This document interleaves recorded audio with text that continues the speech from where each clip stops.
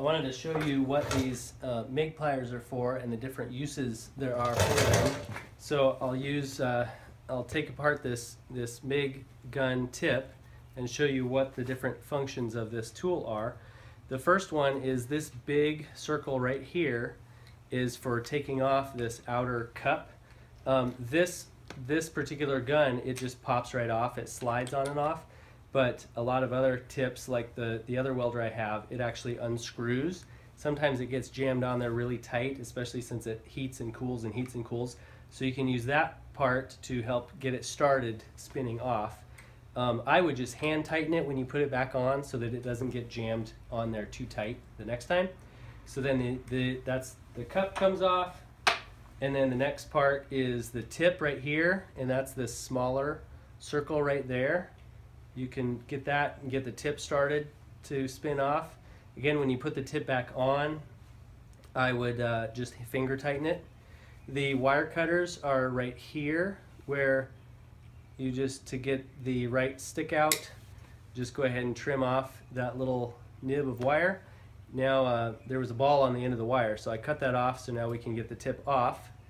And um, these you'll replace every now and then. Um, keep Try to keep this tip clean. Um, let's see.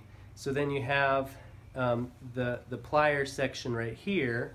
You can use to um, if you're this next little uh, section here has flats on it, so you can unscrew it, starting it with those pliers. So this is where the gas comes comes in and goes out these little holes and spreads out into the cup. And so now we're as stripped down as this gets. Um, again, we used the wire cutters to trim the wire. Um, another thing these are good for is your cup We'll get this this junk in it. Um, you can see the, gra the gray um, spatter that collects in there. You can use the, the outer section of these needle nose pliers to get that junk out of there and get that nice and cleaned up. Now it's bright shiny metal on the inside, nice and clean um, blow out the junk. Very highly recommend you pick up a pair of MIG pliers. You can get them anywhere welding supplies are sold, um, including like Ace Hardware and, and uh, Home Depot, Lowe's. They often have these also, as well as other local welding shops or on Amazon.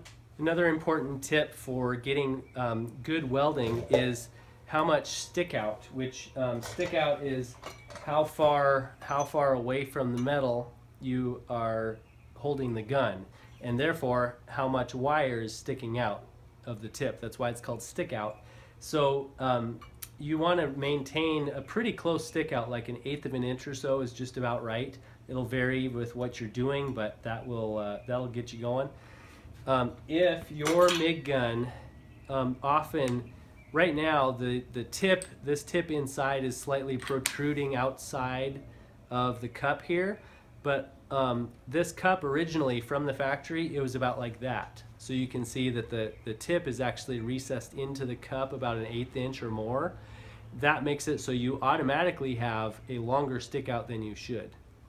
It's going to be a lot harder to get your welds hot enough and um, uh, yeah, you just won't be able to have the performance that you could from your welder. So if um, I actually used a cutoff disc on a, an angle grinder or a high-speed cutting tool to cut off a slice. I cut off about an eighth inch of material here from the cup and sliced it so that it was shorter. I went a little bit too short, so my tip is protruding some. That's not a big deal. Um, up to your preference. Some uh, you might want it flush even, you might want it protruding a little bit like this, but that really helps because now you can get right in there to the work and um, and have the appropriate stick out and not not be limited by that.